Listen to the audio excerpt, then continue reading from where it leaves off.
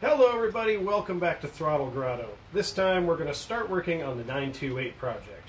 Stay tuned.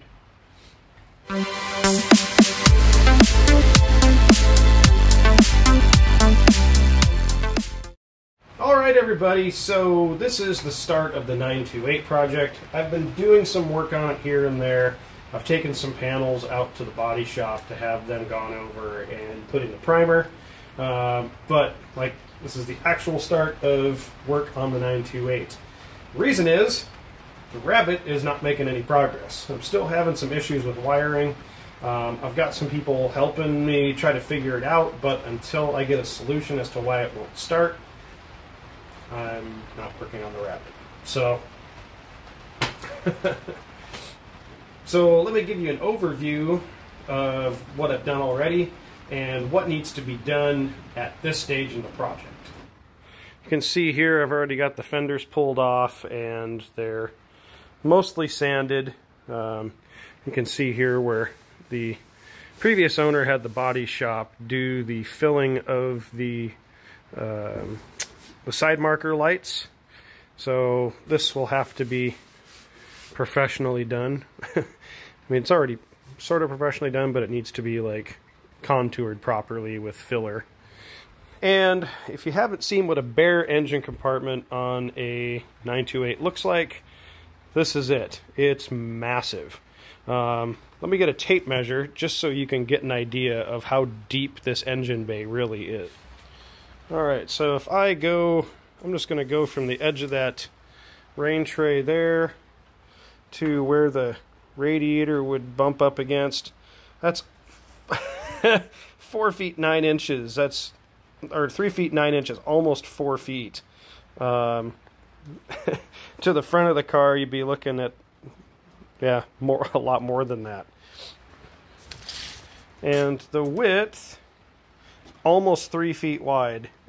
It's just under three feet wide at the uh, at at the at the uh, edges of the firewall there, or the core support. No, not the core support.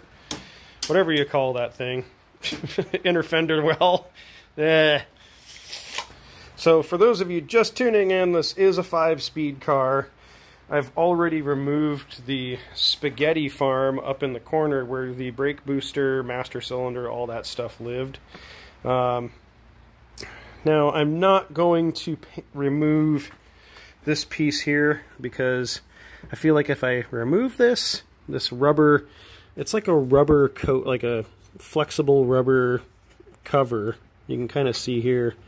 It's sort of thick, but I think if I remove this, I'm either going to have to purchase a new one or I'm never going to get it back on. So under here is going to be silver for whoever decides to dismantle this car in the future.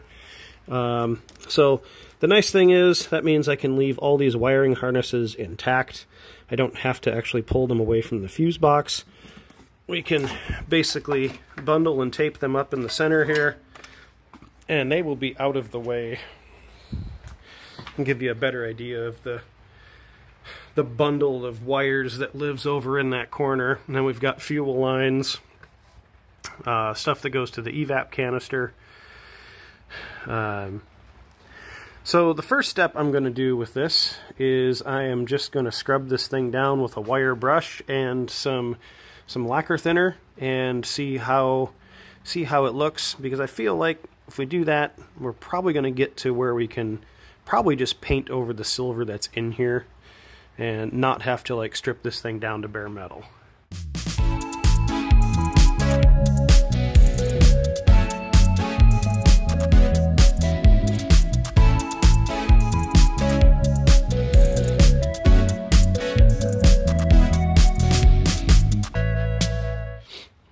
Okay, so after a few minutes with some lacquer, I was trying to figure out why things in the front of the car were red.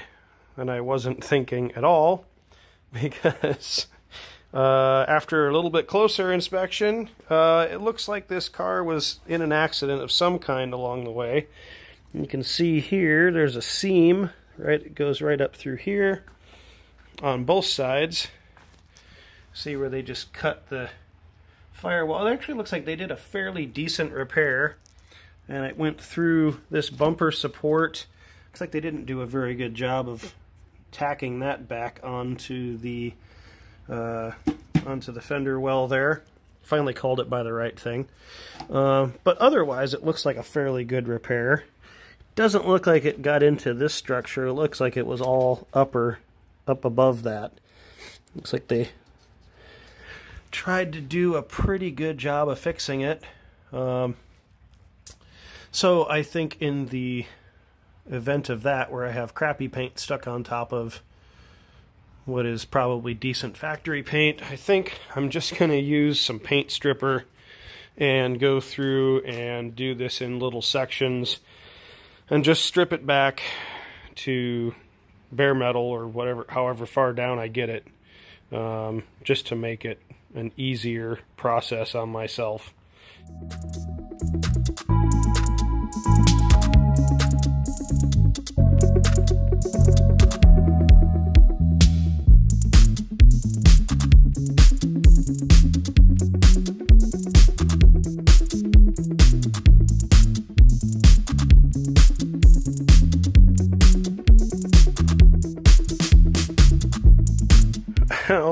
Right, so apparently Paint Stripper made things a lot worse.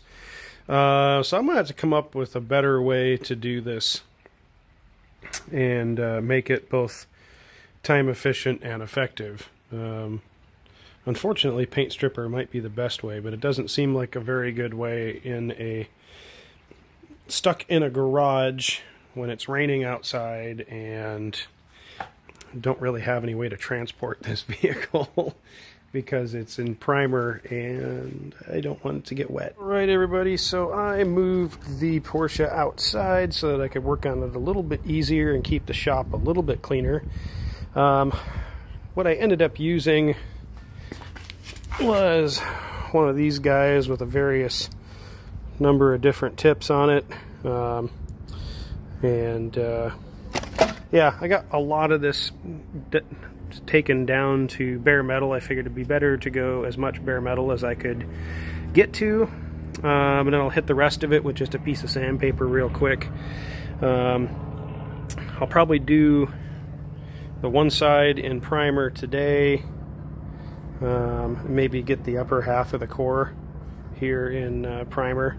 Um, and as you can see, there's a lot of things to tape off and move. And um, like I have to undo that bracket, and it looks like it kind of pivots out of the way there to, uh, or yeah.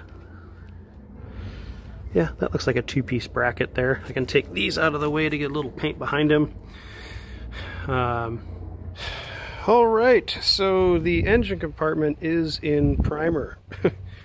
um, I will admit that I'm doing kind of a quick job on this. I'm not trying to make this a concours car.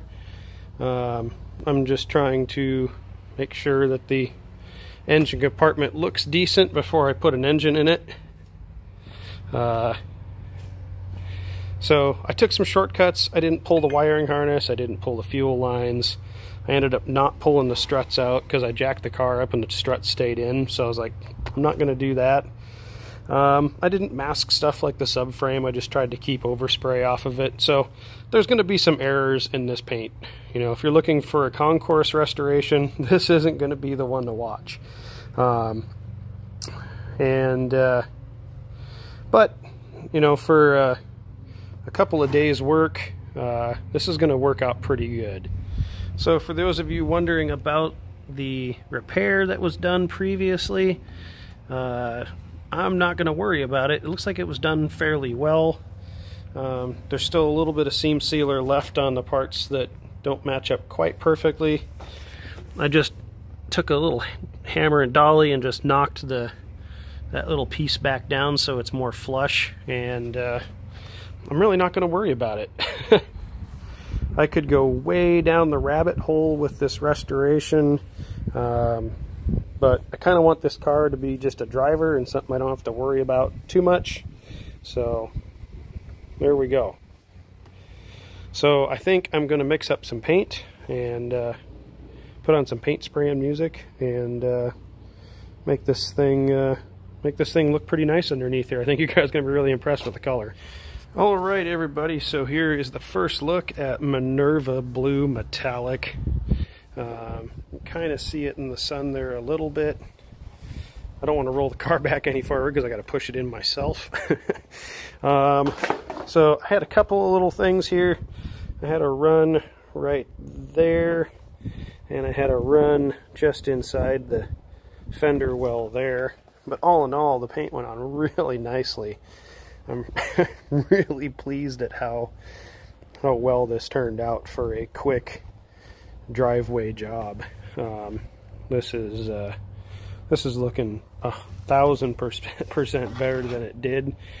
I've got a few things that I want to do on the firewall just to clean things up before I hang the engine, and there's actually there's actually some things that I need to do before the engine can go back in. So the engine that came with the car is here in pieces, and might be asking yourself, why is in pieces? Well, we'll talk about that next time. All right, so for those of you that haven't watched the channel very long, this is the paint gun I used. It's the Eastwood Concours LT. It's actually made to use with a very low CFM uh, compressor, like the tiny little one I have, which only does, it's this one's like a typical 4 CFM at 90 PSI, which is pretty low um, 20 gallons. It runs almost constantly when I'm painting, but it puts out enough air to run my small paint gun. So this is probably one of my favorite tools just because it works so well with the stuff I have on hand. All right, so I'm tired. this was a lot of work to do in just a few short days. Uh, so I'm really happy at how, with how this turned out. I'm sorry for those of you that are concours people that really, uh, really want to see everything perfect. This car is not going to be perfect, uh, but I'm going to try to do my best at putting this car together, make it mechanically sound, make the exterior of it look really nice, and uh, not trying to take shortcuts. I'm just trying to like save time and money where I can, and engine compartment, stuff like under the fenders and stuff like that is stuff that people really aren't going to see. Uh, so I don't mind saving a little bit of money here and there, and most importantly, saving a lot of time because I have a very short window of summer. I want to get this whole car painted, um, and there's still a lot of stuff to do. I need to do the jams, need to do inside patch. Um, so um, all of those are going to take a few days each, you know, to prep and paint and all that kind of stuff. So very short window of summer here in the Northwest. But all in all, great progress. Thank you guys for watching. If you're new to the channel, thank you for checking it out. Hope you subscribe. And until next time, get out there and work on something.